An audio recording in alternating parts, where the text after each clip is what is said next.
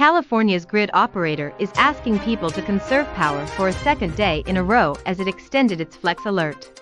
A scuffle started outside the meeting room after all members of the public were escorted out following outbursts and accusations of racism.